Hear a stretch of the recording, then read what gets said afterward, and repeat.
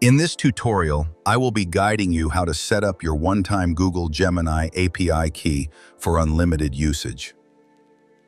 First, head over to Google AI Studio. The link to this site will be given in the description. Then go to Create API Key.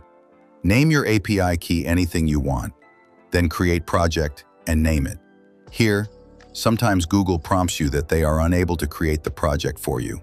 Don't worry, now you just have to do it manually. Go to the Google console. From the prompted message, here enable your two-step verification if not already. Then come back and just refresh the Cloud Console page. Name your project and press Create. Your project is now successfully created. Here you can monitor your API usage. Nothing important for us as such. Once you are done, head back to the AI Studio and refresh the page for the project to show up. Now go to Create API Key, name it, and this time, import the project that you have just created.